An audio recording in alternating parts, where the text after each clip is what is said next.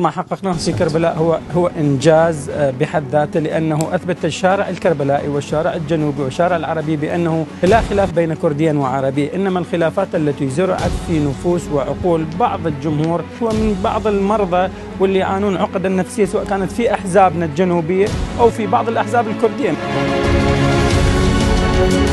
لكن ما شاهدناه وما عملنا عليه في كربلاء وكلكم شاهدتوا نسبة توافد الجمهور على مكاتب الديمقراطي الكردستاني في كربلاء ولدينا كان أربع مقرات. عامة أربع مقرات ما فرغت من الجمهور. هذا دلال على أنه ماكو مشكلة بيننا كشعب واحد ولكن المشكلة زرعوها في عقولنا من أجل مصالح بصراحة انتخابية سياسية. لذلك بعض الأخوة يزيدون والأخوات يزودون في فترة الانتخابات النفس الطائفي والنفس العنصري. بالنتيجة الديمقراطي أثبت أنه حزب عراقي عندنا كان مرشح في الكوت والأنبار وكربلاء وبغداد وكركوك والموصل وصلاح الدين. نعم أيضا بالنتيجة أعتقد إحنا فريق واحد لعبنا هذه المرحلة في الانتخابات وهنيئا لمن فاز وأبارك للجميع من كل الأحزاب وهارد لاك للخاسرين.